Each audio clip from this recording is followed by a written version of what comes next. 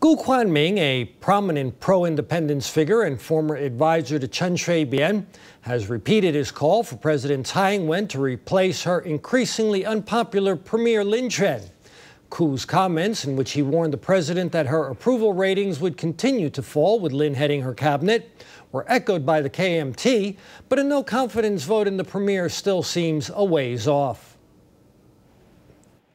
In an interview aired on a local radio program, Koo Kwang-ming, a major figure in the DPP, urged President Tsai Ing-wen to get rid of Lin Chuan, the head of her cabinet.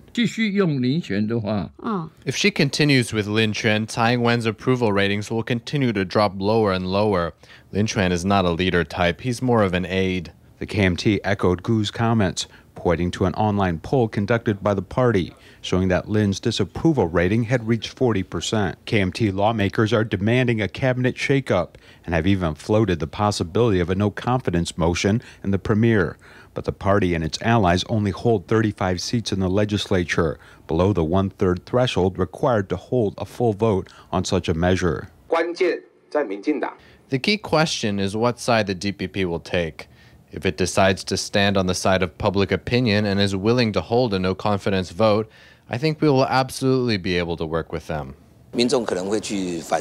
I think the public should think over the reasons for supporting a no confidence vote, just as the premier is gaining courage and settling into his job. If the vote fails, Lin Chuan would get a renewed mandate and would be able to carry on in his post for another year.